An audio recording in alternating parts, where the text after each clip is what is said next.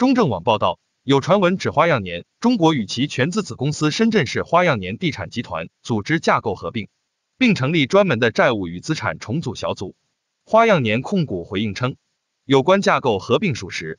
针对此次境外流动性问题，花样年在地产投资决策小组、地产产品决策小组、地产招采决策小组等决策委员会的基础上，增设专门的债务与资产重组小组。由花样年执行董事柯卡生担任小组组长，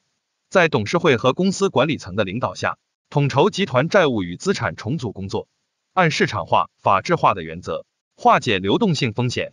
小组下设政府与合作项目执行组、金融机构执行组执行秘书。花样年早前透露未能偿还于十月四日到期的二点零六亿美元债务。另外，花样年表示，何敏和王佩诗已辞任独立非执行董事职务。